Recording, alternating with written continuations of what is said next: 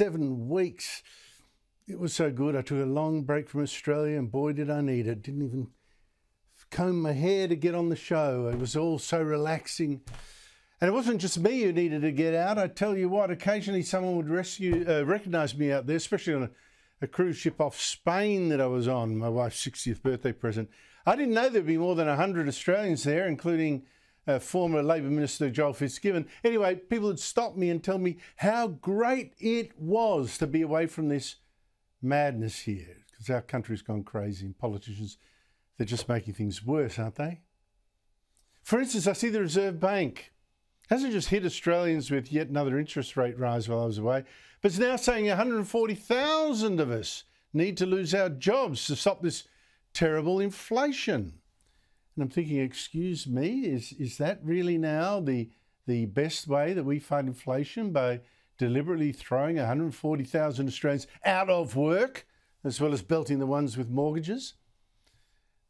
I mean, sure, inflation does have to be tackled, but in the seven weeks I've been away, I see the Albanese government is still refusing to do something far more useful and it's painful to cut prices. I mean, how about dropping its insane plan, finally, to shut down even more coal and gas power plants and replace it with green power that Labor still falsely claims is cheaper?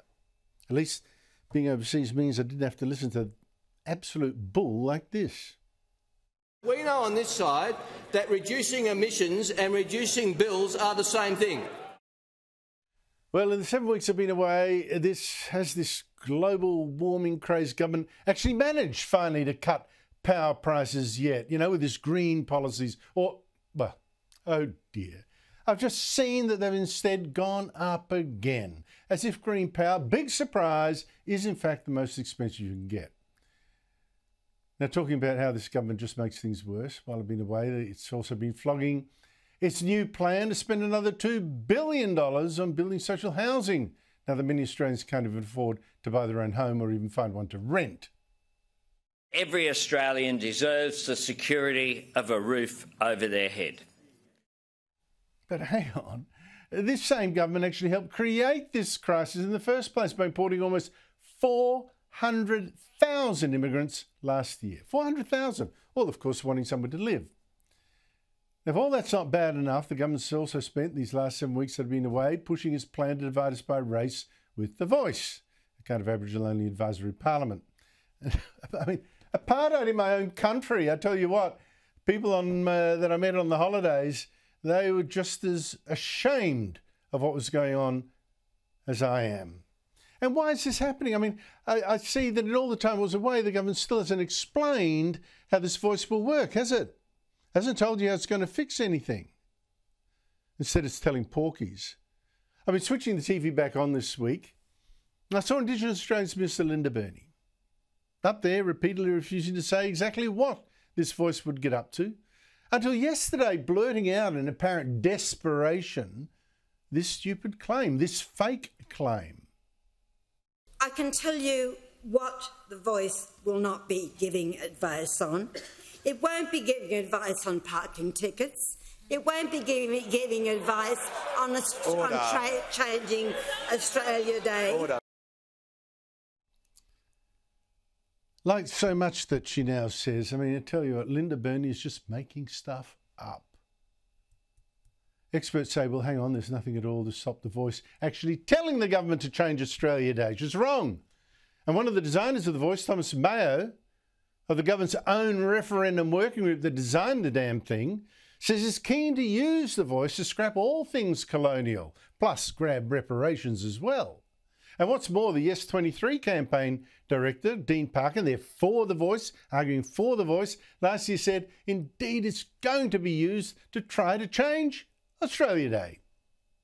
The constitutionally guaranteed voice is going to be the mechanism that allows us a seat at the table to ensure that these conversations around truth, be it on the 26th, be it on any other issue that's affecting our people, that we have a real say. And today I also saw something I've been so happy to be able to ignore for the last seven weeks. Indigenous Australians Minister Burney, so clueless now that she has to read word for word prepared answers in question time today giving a scripted non answer when asked whether she'd actually misled Parliament with that claim, you know, oh no, can't advise on Australia Day. Uh, and she had misled it, hadn't she?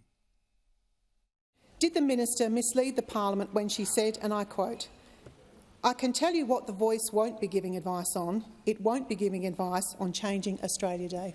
End of quote. It is not the policy of this government to change the date of Australia Day. The Voice may give advice, but the Parliament retains its primacy. For seven glorious weeks, I haven't had to listen to all this race baiting nonsense and haven't had to listen to the Prime Minister telling his great big falsehood about this voice. This is a modest request. How I pity you for having had to listen to this deceitful yammer for seven weeks. Lucky me to have had a holiday from it. And there was one last thing I could ignore in that time more proof that Labor cynically exploited the unproven claims of former Liberal staffer Brittany Higgins that she was raped by a colleague in the office of the Defence Minister after a drunken night out. I missed the new evidence that Finance Minister Katy Gallagher misled Parliament, she too, when she claimed that she didn't know about these rape claims before Higgins went to the media. Is I was told by one of your senators two weeks before um, about what you were intending to do uh, with the story in my office, two weeks before. Oh, I had no knowledge of this. Until no one had any knowledge. Okay. I had no We knowledge were of one of this. How dare you?